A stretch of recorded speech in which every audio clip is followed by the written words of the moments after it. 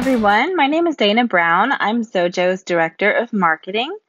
In this video, we're going to see how to retrieve the metadata information from image files on macOS, including the EXIF data, when it is available as part of the metadata.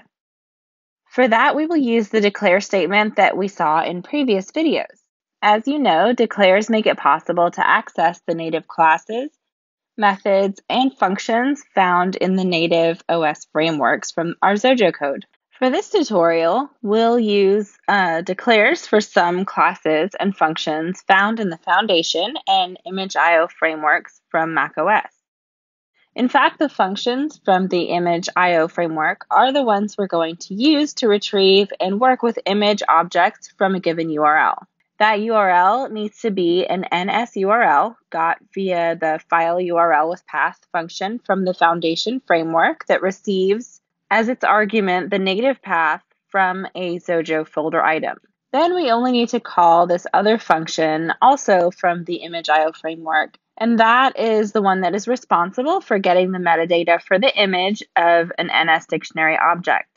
As it's the case with the Xojo dictionary, an NS dictionary stores the information as key value pairs. Finally, we only need to send the description method on the NS dictionary object in order to retrieve all of the stored information as a string.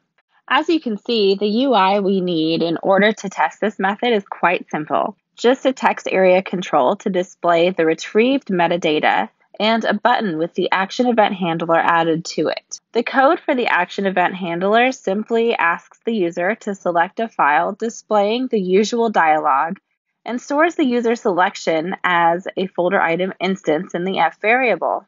Then, if the f variable stores a valid object, our method calls metadata for image file method, passing along the f variable and assigning the result of the method call to the text property for the text area control. When we run our example app, selecting an image file in the display dialog, we can see that, in fact, our method is able to retrieve the metadata information from the image file, displaying it in the text area control. As you can see, and as part of the metadata information, this can also include EXIF data, like the values for the from the camera lens, uh, aperture values, the date and time when the image was taken, exposure values, manufacturer data, etc.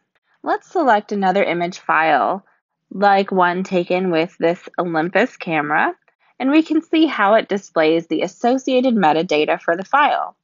As you can see, the kind and amount of metadata varies from file to file. And that's all. It's quite simple adding this feature to your macOS apps thanks to the use of declares in Xojo.